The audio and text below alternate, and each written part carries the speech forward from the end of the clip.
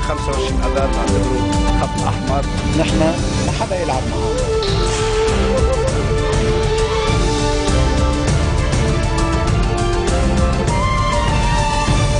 Bonjour à tous et merci de nous rejoindre sur Futur TV pour cette nouvelle édition de la rédaction. Voici les titres de ce journal. Les évêques maronites réitèrent leur appel à la formation d'un nouveau gouvernement et à lancer les préparatifs en vue d'élire un nouveau président de la République. Le 14 mars en faveur d'une résistance civile libanaise pour libérer le pays des armes illégitimes avec en tête celle du Hezbollah. En Syrie, le conflit prend une nouvelle tournure avec des combats entre rebelles et djihadistes qui cherchent mutuellement à s'anéantir. Et à suivre également dans ce journal, en Irak, toujours pas d'intervention de l'armée face aux insurgés de Fallujah. L'armée se contente de renforcer ses positions autour de la ville située à 60 km à l'ouest de Bagdad, la euh, capitale. Je vous le disais en titre, réunion mensuelle des évêques maronites euh, sous la présidence du patriarche Pshararaï. C'était ce matin à Pkerki, le siège du patriarcat maronite. Les prélats ont appelé toutes les forces politiques à prendre conscience des dangers qui menacent le Liban en raison de la situation euh, politique et économique, à éviter euh, d'établir des liens entre les attentats et les tensions interconfessionnelles pour ne pas entraîner le pays dans le chaos. Les évêques euh, ont par ailleurs réitéré leur appel à la formation d'un nouveau gouvernement et à lancer les préparatifs en vue d'élire un nouveau président de la République. Ils ont enfin rappelé l'importance de l'entente nationale, une des fondations du Liban qui sert l'intérêt des citoyens et de la nation, euh, selon les évêques. Une autre réunion, celle du secrétariat général du 14 mars, les dirigeants de l'alliance d'opposition ont estimé que les principes de la déclaration de Mahabda devraient être la base de tout nouveau gouvernement. Pour rappel, le texte stipule la distanciation du Liban des crises régionales et l'application des résolutions onusiennes. Le 14 mars a en outre souligné l'importance d'une résistance civile libanaise pour libérer le pays des armes illégitimes avec en tête celle du Hezbollah et conduire le pays vers la stabilité. Les dirigeants de l'Alliance ont enfin dénoncé les récents attentats et les violences qui secouent le Liban, des incidents sécuritaires que l'opposition attribue au régime syrien. Le 14 mars a enfin accusé l'administration Assad d'exporter le chaos syrien au Liban pour diviser la scène libanaise. La réunion du secrétariat général du 14 mars euh, s'est déroulée dans un lieu tenu secret en raison des menaces contre certains membres de l'Alliance. Le bloc parlementaire du euh, courant du futur a appelé ce mercredi à la formation d'un gouvernement neutre, un gouvernement qui aurait pour tâche principale de résoudre les crises sécuritaires, économiques et sociales du Liban. Lors d'un point de presse à l'issue de la réunion hebdomadaire du bloc, son chef, Fouad Signora, a indiqué que les autres dossiers à polémique devraient être discutés autour de la table du dialogue. Il s'est par ailleurs félicité au nom des députés du courant du futur de l'arrestation euh, par l'armée euh, libanaise de l'islamiste saoudien euh, Majed El Majed, l'ancien émir des brigades Abdallah Azam, décédé samedi des suites d'une insuffisance rénale. Son groupe lié à Al-Qaïda avait revendiqué le double attentat contre l'ambassade d'Iran à Beyrouth.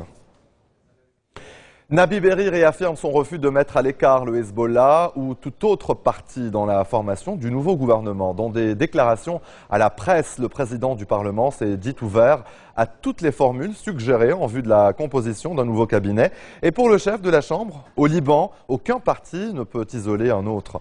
Par ailleurs, Berry s'est félicité des dernières déclarations de certains responsables du courant du futur concernant la formation du gouvernement et la euh, participation de tous les partis. Selon le quotidien Al-Jumhuriya, qui cite des sources proches du chef de la Chambre, euh, Berry insiste à former un gouvernement d'union nationale. De retour d'Arabie Saoudite où il a évoqué la situation au Liban, le coordinateur spécial des Nations Unies pour le Liban, Derek Plumley, s'est entretenu ce mercredi avec le Premier ministre désigné euh, Tamam Salam et le chef du bloc parlementaire du courant du futur, euh, Fouad Signora. Le responsable onusien a redit l'attachement de la communauté internationale à la formation d'un gouvernement effectif au Liban. Il a par ailleurs appelé l'ensemble des responsables libanais à faciliter la formation d'un tel cabinet pour faire face aux, nombreux défis qui se présentent sur son territoire, notamment sur les plans sécuritaires, humanitaires et économiques. Désigné le 6 avril dernier, euh, le Premier ministre Tamam Salam peine toujours à former euh, donc son cabinet, notamment en raison des divisions au Liban concernant la crise en Syrie.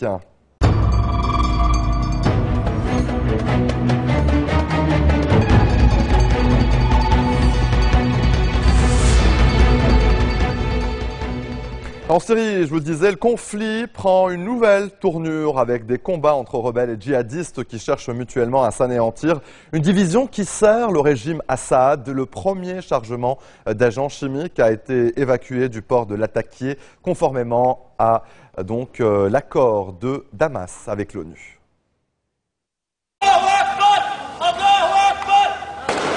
C'est une véritable guerre dans la guerre qui fait désormais rage en Syrie une situation qui devient kafkaïenne. Même si très différents, les nombreux mouvements rebelles étaient autrefois unis contre un ennemi commun, Bachar el-Assad. Ils sont aujourd'hui en guerre contre un nouvel ennemi, l'État islamique en Irak et au Levant, le YEL. Un groupe sunnite venu d'Irak, né en avril 2013 et se réclamant d'Al-Qaïda. Ce qu'ils veulent, établir la charia dans toute la région, dissoudre les frontières entre l'Irak et la Syrie et y instaurer un État islamique. Leur chef, Abu Bakr el-Bardadi, est classé parmi les dix terroristes les plus dangereux de la planète. Accusés d'enlèvement, de torture et d'assassinat, ils font régner la terreur dans les zones qu'ils contrôlent. Pour les contrer, une nouvelle alliance a vu le jour dont l'unique but est de les chasser ou les éliminer, l'armée des Moujahidines. C'est ainsi qu'ils se sont nommés un regroupement de huit brigades, essentiellement des groupes islamistes et qui estiment que l'EIL leur a volé leur révolution. Depuis vendredi, les combattants du front Al-Nusra, la branche officielle d'Al-Qaïda en Syrie, sont engagés dans des affrontements meurtriers contre les djihadistes de l'EIL. Résultat, le chef d'Al-Nusra demande un cessez-le-feu, sans toutefois appeler à la fin des combats. Il faut procéder à un échange de prisonniers et à donner la priorité au combat contre le régime. Si les violences se poursuivent, le régime va pouvoir trouver un nouveau souffle alors qu'il était proche de l'effondrement. Car s'il y a bien une certitude en Syrie, c'est que les divisions entre rebelles et djihadistes sur le terrain servent les intérêts du régime de Damas. Et c'est en position de force qu'il va se rendre à la conférence de paix prévue le 22 janvier prochain en Suisse.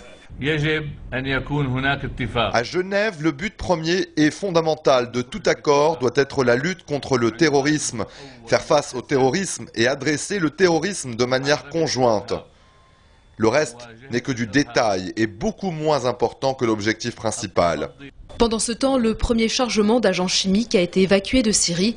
Objectif, les détruire conformément à l'accord avec le régime, conclu à l'initiative de Washington et de Moscou Première étape clé de ce plan, l'évacuation des produits les plus dangereux.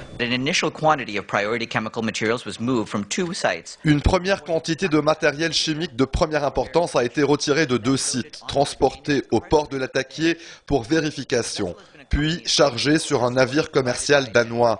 Le navire s'est ensuite dirigé vers les eaux internationales et doit y rester dans l'attente de l'arrivée dans le port d'autres agents chimiques importants. Une fois qu'ils auront tous été rassemblés à l'attaquer, les composants chimiques vont être transportés jusqu'à un port italien.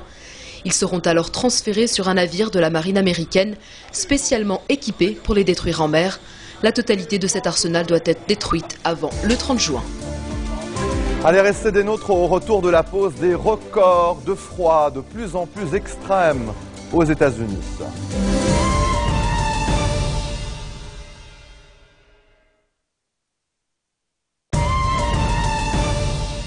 Retour sur le plateau de l'info en Irak. Toujours pas d'intervention de l'armée face aux insurgés de Fallujah. L'armée se contente de renforcer ses positions autour de la ville, située à 60 km à l'ouest de Bagdad, la capitale.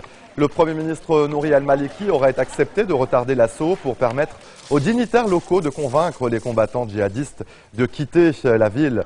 Mais les discussions, si elles ont lieu, s'annoncent difficiles. Dans un message audio mis en ligne sur Internet, le porte-parole de l'État islamique en Irak et au Levant demande aux sunnites irakiens de poursuivre coûte que coûte le combat. Faute de quoi, déclare-t-il, ils seront réduits à l'état d'esclavage. Plus de 13 000 familles ont fui ces derniers jours Fallujah, selon le Croissant Rouge irakien. À Ramadi, les troupes ont tenté de s'emparer de certains quartiers tenus par les combattants proches d'Al-Qaïda, mais sans succès. En Israël, les migrants africains qui demandent le droit d'asile poursuivent leur mobilisation. Ils entrent ce mercredi 7 janvier euh, dans leur quatrième jour de protestation et de grève pour réclamer donc le droit d'asile et aussi la libération de ceux qui sont emprisonnés parce qu'ils n'ont pas de, euh, de titre de séjour. Ils étaient plus de 10 000 ce matin à se rassembler devant le Parlement à Jérusalem. Les représentants des manifestants souhaitent rencontrer des responsables politiques. Euh, l'accès à la Knesset leur a été interdit par le président du Parlement, Yuli Edelstein, qui dit vouloir éviter des provocations susceptibles de dégénérer en violence et en désordre. Pour le chef du gouvernement, Benjamin Netanyahou, les protestateurs ne sont pas des réfugiés, mais des clandestins qui doivent retourner dans leur euh, pays. Maintenant, le procès de Mohamed Morsi n'a pas repris aujourd'hui. L'audience a finalement été repoussée au 1er février. Le président égyptien déchu, euh, détenu dans une prison d'Alexandrie, est poursuivi pour incitation au meurtre de manifestants, des faits qui remontent à décembre 2012. Il doit aussi répondre d'accusations de conspiration contre l'Égypte avec le Hamas palestinien, le Hezbollah libanais et le gouvernement iranien. 14 autres dirigeants islamistes sont également euh, donc, euh, dans le box des avec lui. Allez, en bref, dans le reste de l'actualité, nuit d'horreur pour des passagers d'un train ravagé par un incendie dans l'ouest de l'Inde. Au moins 9 personnes sont mortes prises au piège dans leur sommeil par les flammes et la fumée. Le train relié Bombay à Derdu, le feu euh, s'est propagé dans trois wagons le mois dernier. Un feu avait également ravagé un train de nuit dans l'Andhra Pradesh, dans le sud-est de l'Inde, tuant 26 personnes. Et au Venezuela, le président Maduro a annoncé une augmentation de 10% du salaire minimum et des retraites pour tenter de juguler l'inflation. Cette annonce fait suite à une série de mesures de contrôle des prix, comme sur l'électroménager, les appareils électroniques ou les pièces détachées des voitures. Cette augmentation porte le salaire minimum à 3270 bolivars, équivalent à un peu plus de 500 dollars au taux officiel. Et il y a exactement deux mois, le 8 novembre 2013, le cyclone Eyan dévastait le centre des Philippines. Au total, 6000 personnes ont trouvé la mort dans cette tragédie et des millions d'habitants se sont retrouvés sans habitation. Aujourd'hui, plus de 100 000 personnes vivent encore dans les centres d'évacuation. La reconstruction qui se met lentement en place prendra des années. En début de semaine, le gouvernement philippin a annoncé la réouverture des écoles. Le froid de l'Arctique a recouvert le Midwest et a gelé la vie quotidienne, titre le New York Times. C'est dans le euh, Minnesota que le euh, thermomètre euh, a atteint les températures les plus basses, plongeant jusqu'à moins 40 degrés Celsius et moins 50 ressentis en raison des rafales glaciales et des gelées polaires qui sont descendues jusque dans l'Oklahoma où des écoles ont même été fermées. Ces températures extrêmes ont même frappé la Floride. Atlanta n'avait pas vu un tel mercure négatif depuis 44 ans avec moins 14,4 degrés, soit plus froid qu'en Alaska. À New York, il a fait hier 16 degrés, euh, moins 16 degrés du jamais vu depuis 1896. Combiné à un vent fort, la température ressentie était même de moins 22 degrés dans les rues de la ville qui ne dort jamais et qui pour une fois était au ralenti. Cette vague de froid polaire historique sème la pagaille dans le transport aérien avec plus de 18 000 vols annulé depuis jeudi. Classée comme l'une des 400 personnes les plus riches de Chine, Shen Guangbio a réaffirmé son intention de racheter le New York Times. Ce milliardaire, très connu pour ses opérations de euh, philanthropie médiatique, souhaite euh, restaurer la crédibilité et l'influence de ce grand nom de la presse américaine. La fortune de Shen Guangbio est estimée à 5 milliards de. C'est dans le secteur du recyclage qu'il a construit sa fortune. Euh, cela dit, on a du mal à croire que la famille euh, Susan Burger, qui possède le journal américain depuis 117 ans, veuille vendre le premier quotidien des États-Unis, le New York Times. C'est 1000 journalistes, 29 bureaux à l'étranger et plus de 80 prix Pulitzer. Voilà, c'est ainsi que se referme cette édition. Tout de suite, le rappel des titres qui ont marqué l'actualité de cette journée. Les évêques maronites réitèrent leur appel à la formation d'un nouveau gouvernement et à lancer les préparatifs en vue d'élire un nouveau président de la République. Le 14 mars, en faveur d'une résistance civile libanaise pour libérer le pays des armes illégitimes, avec en tête celle du Hezbollah. En Syrie, le conflit prend une nouvelle tournure avec des combats entre rebelles et djihadistes qui cherchent mutuellement à s'anéantir. Et en Irak, toujours pas d'intervention de l'armée face aux insurgés de Fallujah. L'armée se contente de renforcer ses positions autour de la ville, située à 60 km à l'ouest de Bagdad, la capitale. Merci de votre attention. Retrouvez-nous tous les jours à 16h40 heure de Beyrouth. Vous pouvez également nous suivre en ligne sur notre site internet ou en euh, téléchargeant notre application mobile. Excellente suite de programmes sur notre antenne et bonne soirée.